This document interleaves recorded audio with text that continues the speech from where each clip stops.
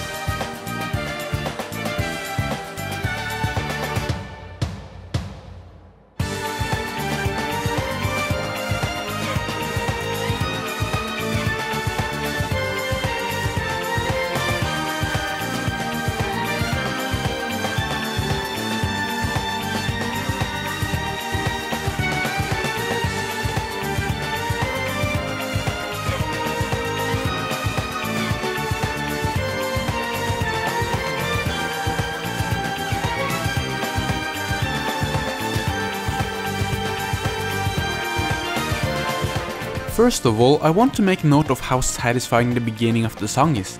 The entire piece starts with this ascending violin melody and a tension-grabbing drum beat, but it quickly resolves into this main track. What I love is how smoothly the drum beat transitions from this to this.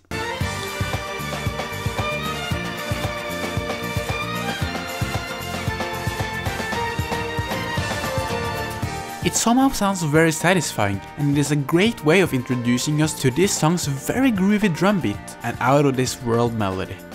Now, I can't really explain what makes the melody so great. I can however make note of some of the things that makes it so effective.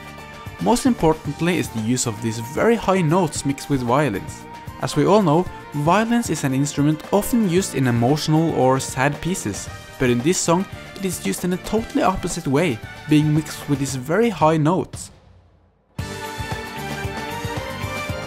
It's still very emotional, but not particularly in a sad way.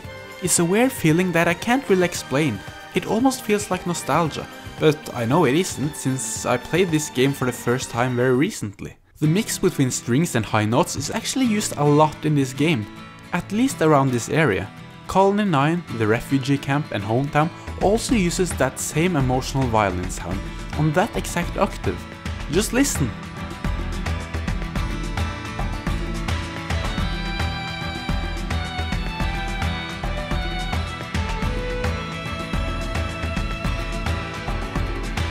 It's a great way of connecting the different areas of Bionis and make it feel like they all have something in common. But the best thing about the use of organic instruments is how they fit the natural environment in which they play.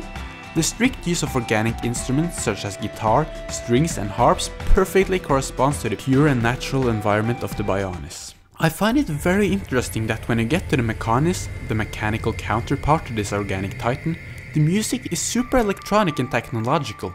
Check it out!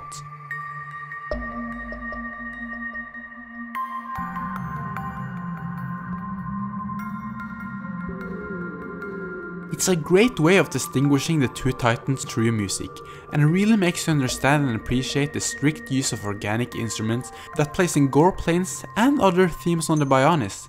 It's very well thought out.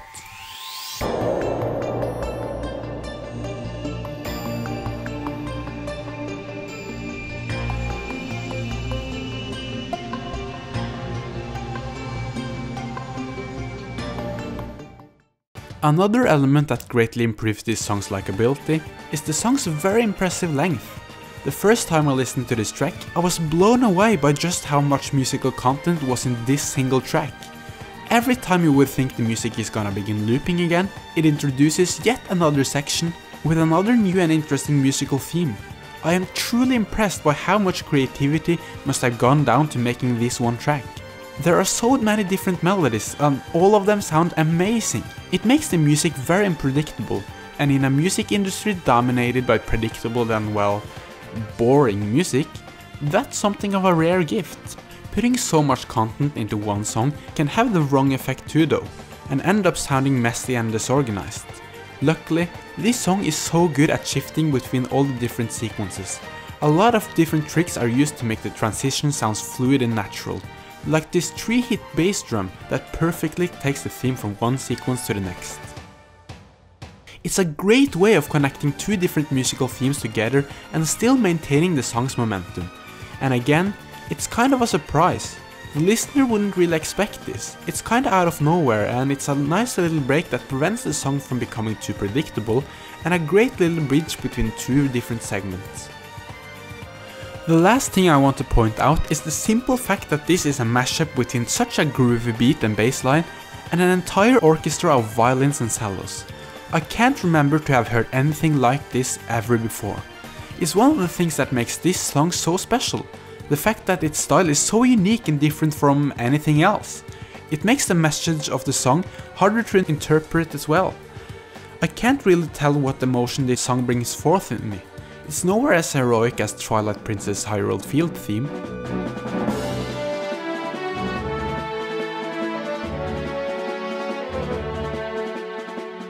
But it's not as playful as, say, Hoenn's Route 110 either.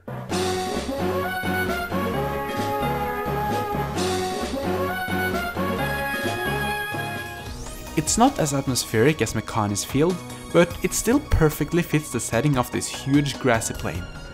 I feel like that's a reoccurring theme when I listen to Xenoblade music, that I can't really place the music into one specific genre or emotion.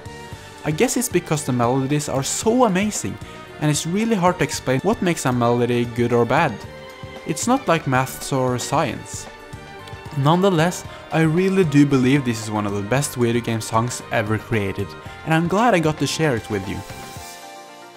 For more videos similar to this, make sure to subscribe to the channel, and don't be shy to recommend a song that you want me to talk about. I can't guarantee that I'll make a video about it, but I'll definitely check the song out and consider it.